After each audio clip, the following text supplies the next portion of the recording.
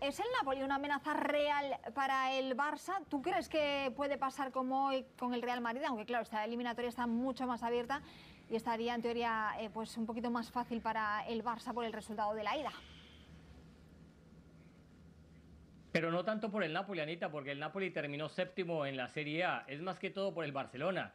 Porque es que no sabes con qué Barcelona te vas a encontrar. Al Barcelona vimos en la liga, el enredó partidos el Español, el Leganés, el Mallorca, los, que descendieron eh, y, no, y, no, y nos quedamos esperando a ver cuál era la verdadera intención de juego muchas veces de Setién. Entonces yo lo veo más por ese lado. Un Barcelona que tenga un partido decente, eh, que Messi tenga un partido de 8 para arriba, no creo que vaya a tener problemas en vencer a este Napoli. Y me causaba un poco de gracia cuando vi la alineación o, la convocatoria del Barcelona en redes sociales, porque en la columna de la izquierda veías a los mejores, ¿no? al Barcelona y en la columna de la derecha veías al Barcelona B que decía, bueno, ¿y qué es lo que va a jugar el Barcelona? ¿Un partido amistoso o un partido de Champions?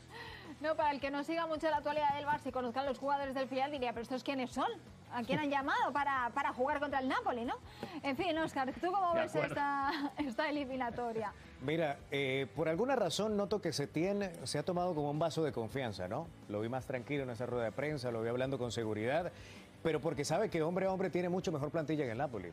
El Napoli es un equipo bueno, Catuso lo sabe llevar, pero se le cae insigne, lo convoca, lo va a aguantar hasta el final, pero probablemente no va a poder jugar al 100%. Va a depender de Mertens y del Chucky Lozano, que para mí debería ser titular. Pero yo veo un Barcelona eh, que debería, debería, en el medio campo, no ser una opción, sino una realidad como Ricky Puch.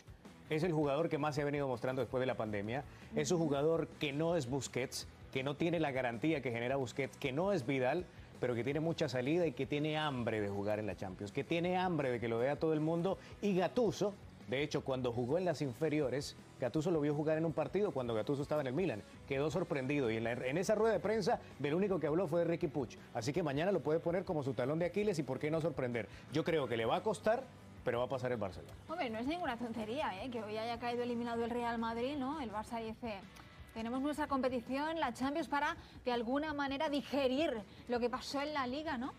A ver, Ana, recién me preguntaba si el Napoli era una amenaza para el Barça. Yo creo que una amenaza para el Barça es el propio Barça, para mí. ¿eh? y, te voy a decir algo que lo estuve pensando mucho.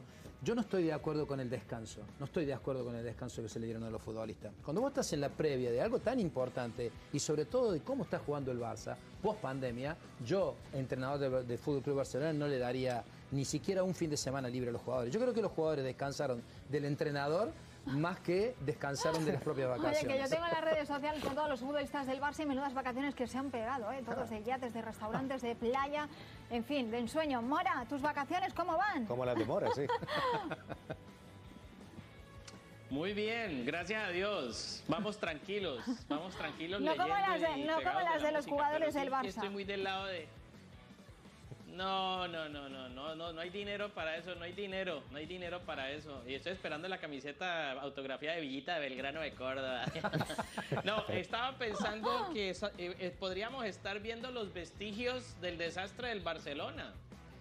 Porque es que, honestamente, eh, el dueño de la casa sabe por dónde está la gotera. Y creo que todos saben que la gotera aparece por la junta directiva. Y cuando uno ve hoy en la nómina que va, eh, convocados que va a presentar Barcelona ante Nápoles y ve esta cantidad de muchachos jóvenes, pues uno dice, la planificación deportiva del Barcelona ha sido un tremendo despiporre. Eso es un desastre.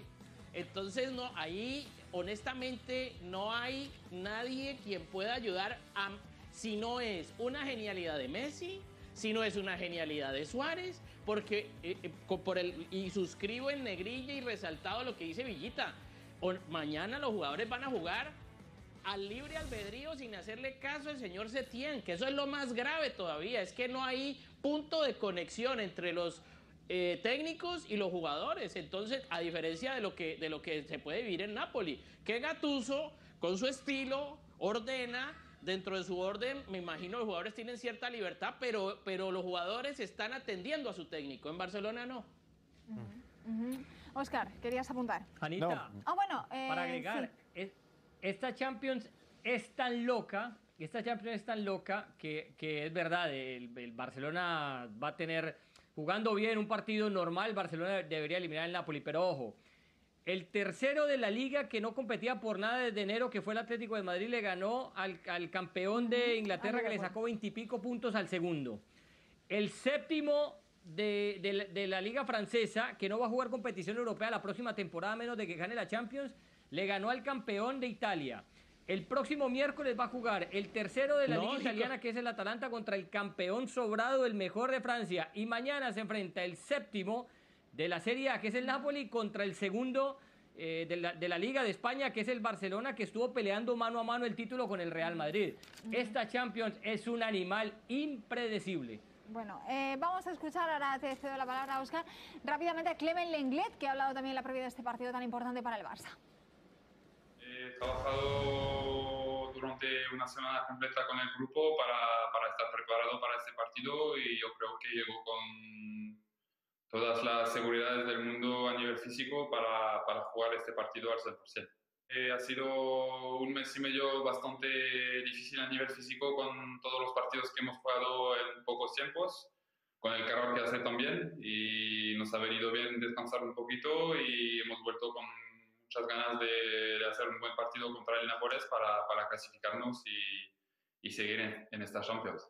Y tenemos que, que trabajar y mejorar muchas cosas para, para para soñar y para, para, querer ganar esta copa. Y es importante mirarnos en el espejo para, para, para tener lo más claridad posible lo que, lo que tenemos que cambiar y lo, lo, que tenemos que mejorar. Y yo creo que estamos trabajando en eso para, para llegar el sábado y hacer un partido bastante bueno, lo mejor posible para, para clasificarnos.